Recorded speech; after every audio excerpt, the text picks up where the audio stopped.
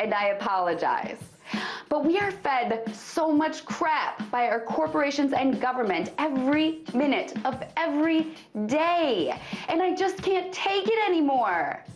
A recent paper published in the American Journal of Medicine just studied what's inside two different brands of fast food chicken nuggets. The study found that the nuggets contained only 40 to 50% meat or muscle. The remaining ingredients that made up half or more of the nuggets they studied were added fat, blood vessels, nerves, glands, skin, and tendon. You know what the worst part about the story is? That it probably surprises exactly no one. We are all so used to being fed crap that we just take it as that's the way the world works. First, they literally feed us crappy food.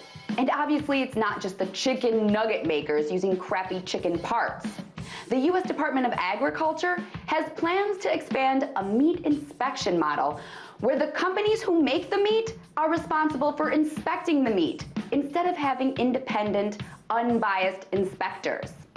This model has been found to fail over and over again at preventing meat from being contaminated with fecal matter. That is some very literal crap. And then they also feed us figurative crap through advertising. Kellogg's just settled a false ad suit for saying that frosted mini wheats helps improve children's attentiveness by nearly 20%. How is that? New research just discovered that 80% of herbal health products contain mysterious filler ingredients that aren't listed on their labels. And according to a recent study, as many as 6 out of 10 pharmaceutical drug ads make misleading claims.